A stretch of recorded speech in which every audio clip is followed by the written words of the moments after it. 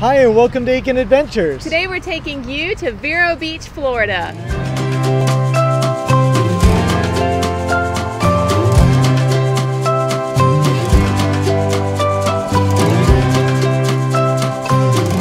And if you're just now joining us on Aiken Adventures, then we are taking you to do all the best things and all the best places all around Florida. If you like that kind of content, then you're going to want to like, subscribe, and hit the bell notification icon as you follow us for all of our adventures around Florida.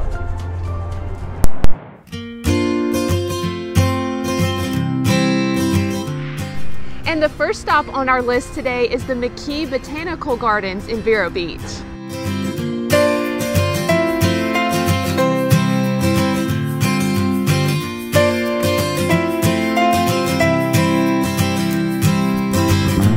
McKee Botanical Garden is probably my favorite thing to do in Vero Beach, Florida. It's just so beautiful. I always feel like I've been transported to some exotic location when I come to McKee.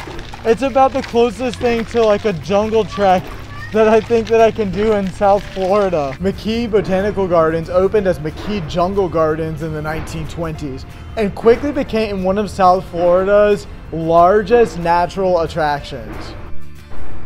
During its height, it began to attract more than 100,000 tourists per year. But as Central Florida and Southern Florida continued to develop, McKee could no longer compete with the larger attractions which were available in surrounding areas. So in the 70s, large portions of the garden were sold off for the development of condominiums in the area, and a large part of McKee fell into great disrepair. But by early 2001, the gardens have been reopened and have highlighted the various specimens which have been cultivated here from all around the world. McKee Botanical Gardens is home to thousands of species of water lilies, orchids, bromeliads, and countless other tropical plants.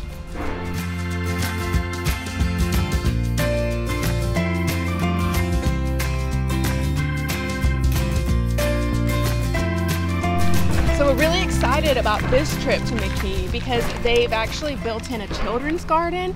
Last time we came here last year, they didn't have it ready, so this is the first time we actually get to see it, and we're excited to see how much Vivian loves it.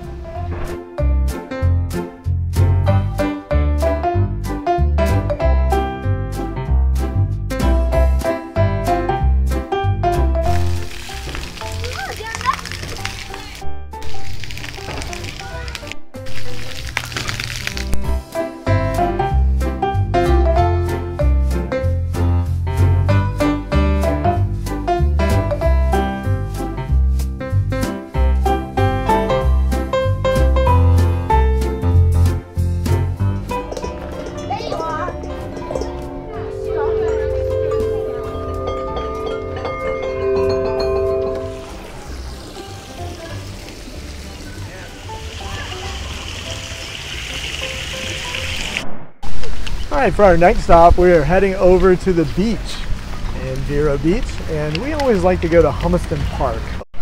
Now, Vero Beach contains some of our favorite beaches on the Treasure Coast, and Humiston Park is really beautiful. And there's also a playground that a certain individual We love the playground play at on. Humiston Park because it's nice and roomy, it's big, it's got a lot of kids to play with, it's got swings, but it's also on the beach, and so we really enjoy that. Now, there's a lot of things that we love about Vero Beach, and first of all, it's gorgeous. It's a beautiful beach. And I know that we often talk about sand quality on our channel, but we love the sand here in Vero Beach. We think it's some of the nicest sand on the Treasure Coast. Another thing that also makes Vero Beach really special is the weather. If you come between the months of October and I think maybe April or so, you're going to have gorgeous weather. For example, right now it's probably about 78 degrees, which for me is perfect because I don't like when it's really, really, really hot. Um, and so June, July, August, probably not the best time to come, um, but this time of year is absolutely perfect.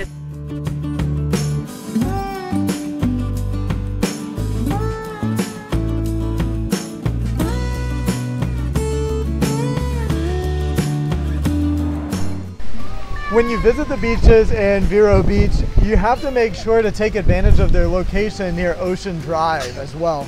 Ocean Drive has a number of restaurants for breakfast, lunch, and dinner. There are even some ice cream parlors and some great places where you can get dessert.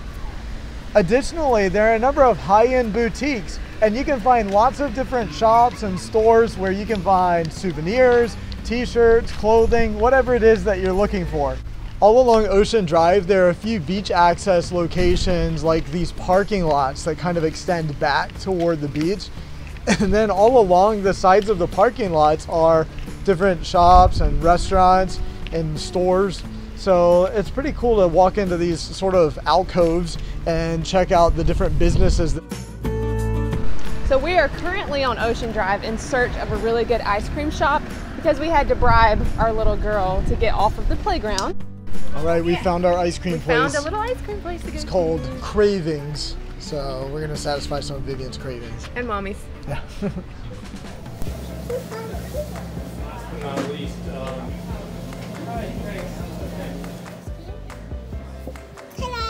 Ta-da! What kind is it? Oh, it's pink. All right, what kind did you get?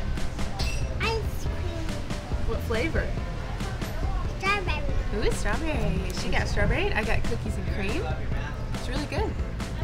Tasty? Mm. Just try yours. Oh, okay. Mmm. It's good.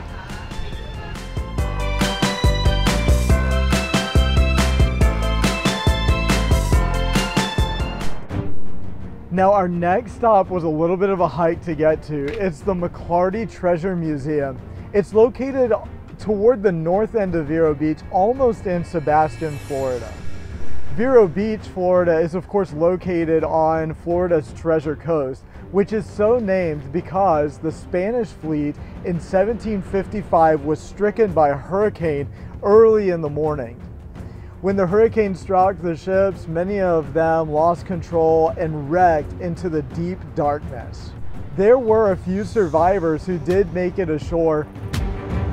In 1964, Mel Fisher came to the state of Florida and recovered some of these artifacts. And some of them are displayed here in the Treasure Museum. Also inside is a 45 minute video that gives you an overview and a history of the Treasure Coast. Behind the Treasure Museum is a boardwalk that goes right out to the water. The views are beautiful, and the end of it is shaped like a pirate ship. So Vivian enjoyed uh, steering the wheel, and she got to be a pirate for the day. But I think my favorite part is that the admission was only $2 per person. Now for the next stop on our list, we're gonna eat lunch at I Jalisco Mexican restaurant on US 1.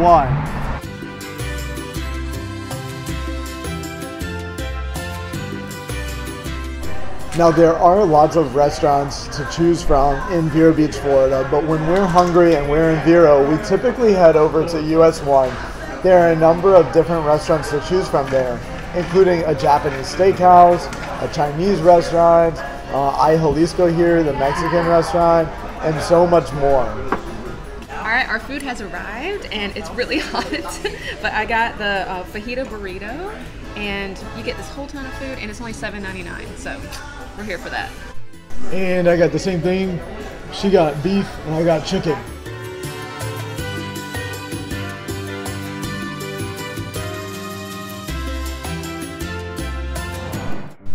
And for the next stop on our list, we're going to check out the Vero Beach Museum of Art. The Vero Beach Museum of Art is a facility of about 55,000 square feet. They also have an educational wing and it looks like they have classes actually in the museum. The exhibits while we were present included the Poetry of Nature, which is on loan from the New York Historical Society. And another display that we really enjoyed um, was by this Korean artist, and he used lights and mirrors to kind of create spaces of um, optical illusions that almost looked infinite. Behind the museum, there's an outdoor sculpture garden as well, so you can walk down the back steps and then see all of the sculptures that are located back there. The Vero Beach Art Museum is located just down the road from the world famous Riverside Theater in Vero Beach. The Vero Beach Riverside Theater hosts close to 300 performances annually on three stages. It attracts nearly 100,000 people to its performances annually. Right now we're taking you to the outlets in Vero Beach, which are conveniently located just off of I-95.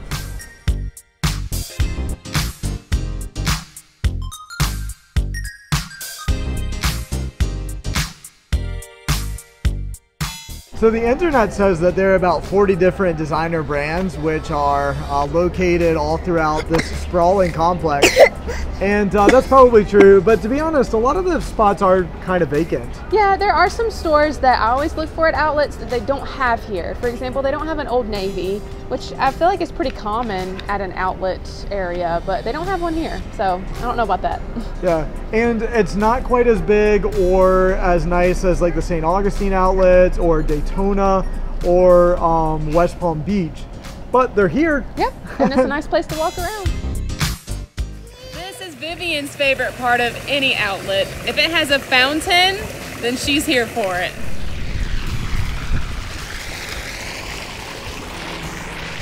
There are so many fountains here, and so Vivian's trying to climb into another one.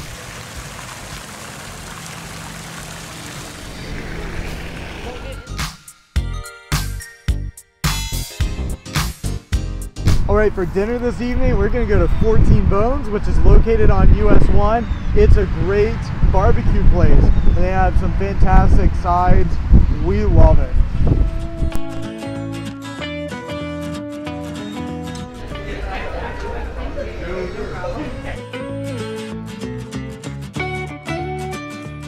All right, fried okra is an appetizer here. You can get it for $5. So of course we're gonna get some and share.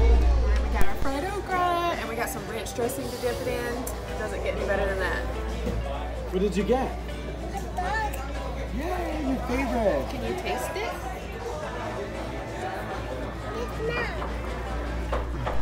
Okay, our food has arrived and we got the family platter and it is huge for $36.99 and I think we're gonna be taking it home and eating it for the next couple of days probably. Okay, so in this giant meal that we have, we have two baked potatoes, cheese grits, collard greens, and then we had this huge platter of chicken and ribs and toast, and it looks like chicken, some more chicken, or maybe turkey, and then beef brisket, sausage. We have everything on this table right now.